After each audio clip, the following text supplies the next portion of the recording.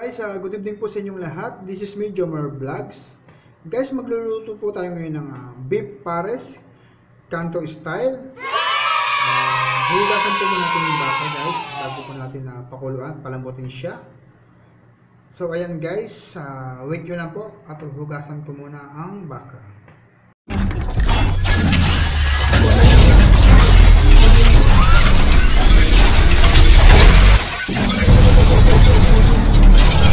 Baka natin guys. Uh, pakita ko lang po sa inyo. Hugasan ko po muna tapos hihiwain ko po muna siya into cubes. Ayan po siya guys, purong laman.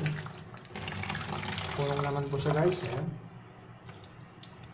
Hugasan ko po muna tapos uh, hihiwain ko lang po siya ng siguro tatlong cut. Tapos uh, papakuloan ko po muna, papalambutin. At uh, pagkalambot na po, tsaka ko po siya hiwain ng maliliit po. Ayan. Istasin ko po siya ng maliit. Uh, papalambutan na po natin ang baka. Siguro po mga 2 hours or 1 uh, and a half hours siya pa pakukuluin. At uh, take note guys, yung uh, pinagsabawan niya po, yung pinaka broth niya po ay uh, huwag niyo pong itatapon. Ayun po yung gagamitin natin pang sabaw niya para po lumasa yung uh, yung baka sa ano, sa pares soup. So ayan guys, uh, antayin na lang po natin kumulo siya at uh, lumambot. So guys, ang mga gagamitin nating recipe sa pagluluto po ng uh, beef pares canto style guys. Gagamit po tayo ng uh, dahong sibuyas, uh, dalawang buo ng bawang, luya.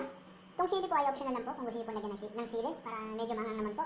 At uh, isang sibuyas po na medyo malaki guys. At uh, syempre wag mawala pong uh, beef cubes. Ayan po. Hihiwain ko lang po muna guys para po uh, maisag po natin siya may gisa.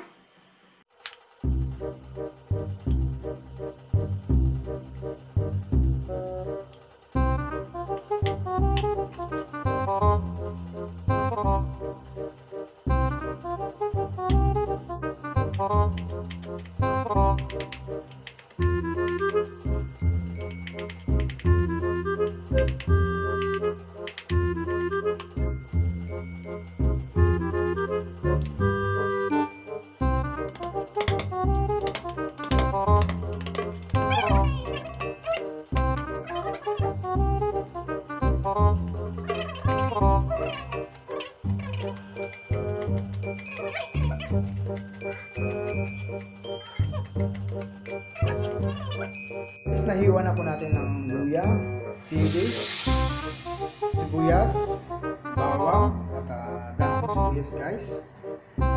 igigisa ko po muna itong ano, uh, bawang.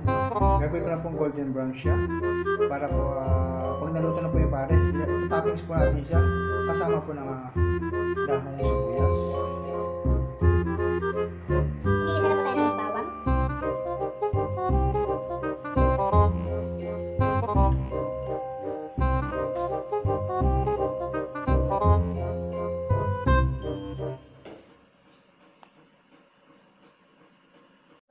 brown lang po natin siya guys. Golden brown lang. Malalagay lang po natin siya. Hanggang sa maging uh, golden brown na siya guys. Maging uh, crispy na siya. natin natin pinakulo ang baka kung malambot na siya. Ayan siya guys. Mga ano pa siguro to? Mga half an hour pa guys. Medyo matigas-tigas pa to. Pakuloan pa natin. Ayan.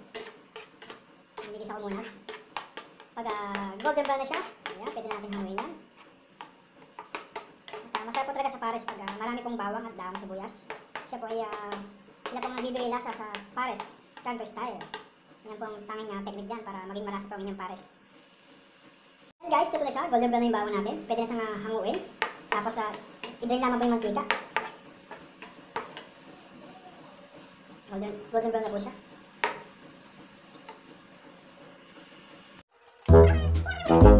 Igigisa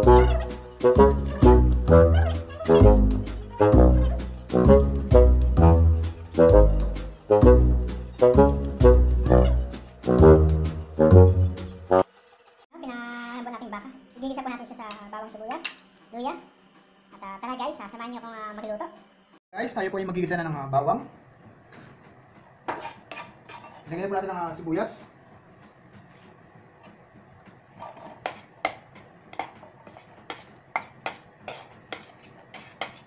Tá saboreado já.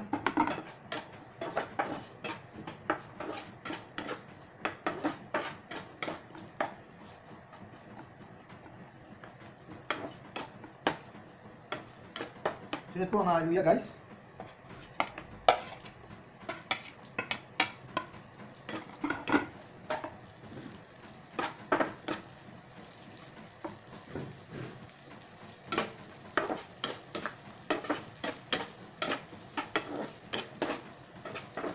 Gisa-gisa lang natin. Maya-maya, uh, ilagay na po natin yung hiliwang, hiliwa na baka. Para po may gisa na siya.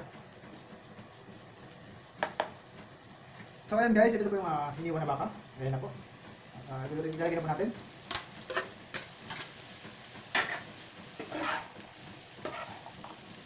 Gisa-gisa na po natin.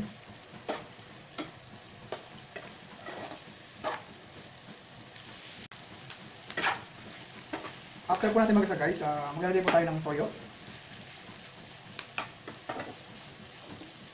Hindi na po ako naglagay ng, ano, ng uh, star anise kasi po uh, natukulay naman po siya. At uh, makikita nyo naman po sa final na pagluluto kung uh, natukulay na kalalabasan niya.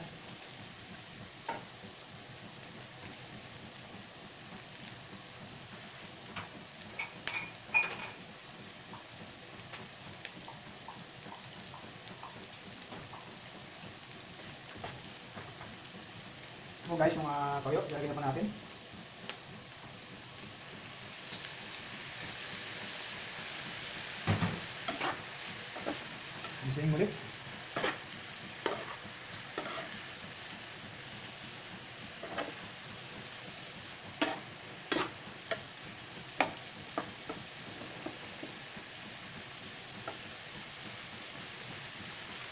Siyempre, huwag niyong mawala yan ang magic sarap, guys.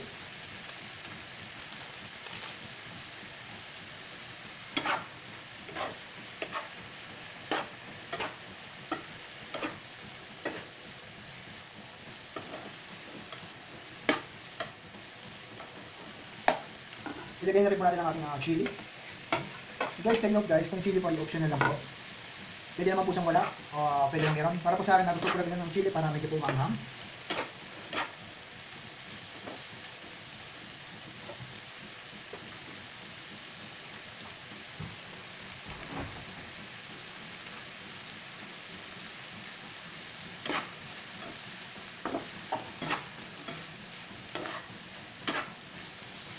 Po lalagyan din po natin ng uh, paminta.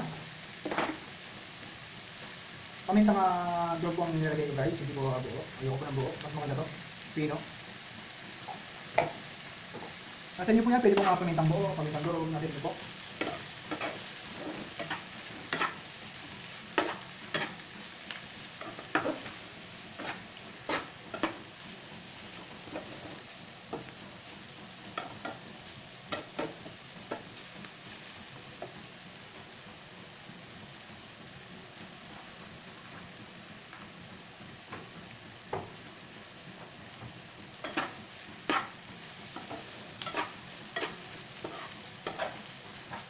Yan guys, pwede na po natin siyang uh, pakuluan na po. Ilagay na po sa tubig na pinagkuluan niyo po ng, ano, ng baka.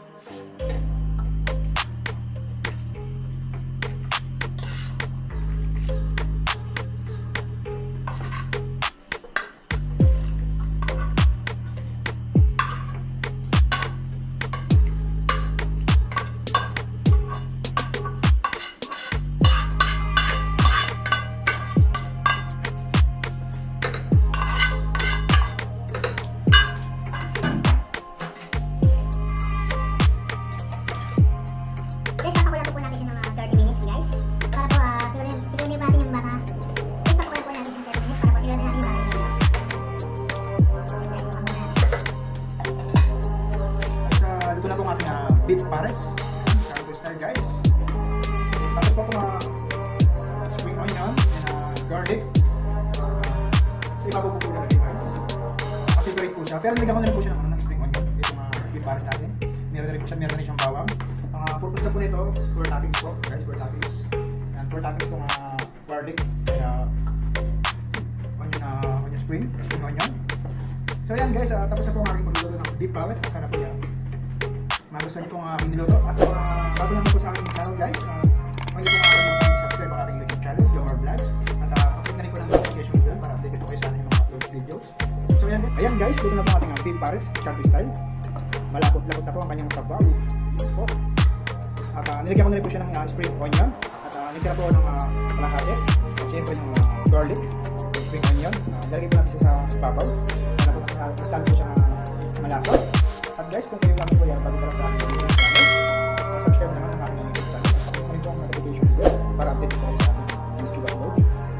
maraming maraming salamat po.